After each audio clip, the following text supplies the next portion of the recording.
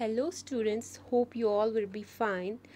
Today uh, we have just finished our chapter what I wear so we will be uh, dealing with the activity portion. Uh, students are instructed to paste this activity on their EVS notebooks. Question How to convert yarn into fabric? Material required 4 pages of scrapbook of different colors, scissors. Weaving. Weaving is a process by which two sets of thread are crossed together. This process converts thread into fabric. Method. Take big square pieces of paper of red and blue color or any other colors of your choice.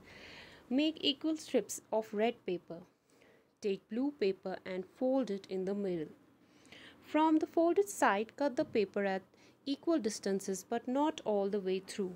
Now unfold the paper and you will see the paper with cut in it. Take a strip of red paper and put it inside the blue paper. Repeat this process few times. Now you will see a pattern. You can weave yarn in the same way but for that we need two sets of yarn. That was all for today students. Thank you and have a nice day.